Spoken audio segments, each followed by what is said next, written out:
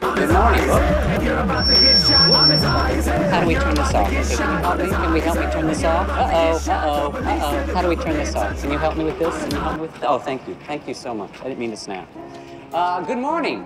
Uh, many of you are halfway through your first week here at Greendale, and uh, as your dean, I thought I would share a few thoughts of wisdom and inspiration. What is community college? Well, you've heard all kinds of things.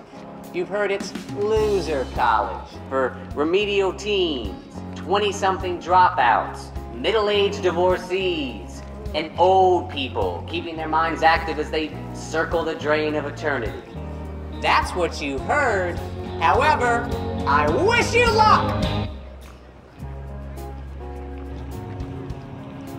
Okay, you know, uh-oh.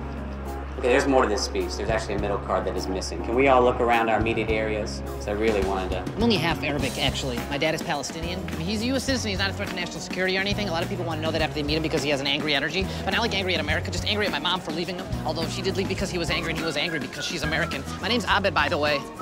Abed, uh, nice to know you and then meet you in that order. Now, about that question that I had? Oh, uh, five after 11 when you asked. Abed. Yeah. What's the deal with the hot girl from Spanish class? I can't find a road in there. Well, I only talked to her once while she was borrowing a pencil, but her name is Britta. She's 28, birthday in October. She has two older brothers, and one of them works with children who have a disorder I might want to look up. Oh, and she thinks she's going to flunk tomorrow's test, so she really needs to focus, and she's sorry if that makes her seem cold. Holy crap.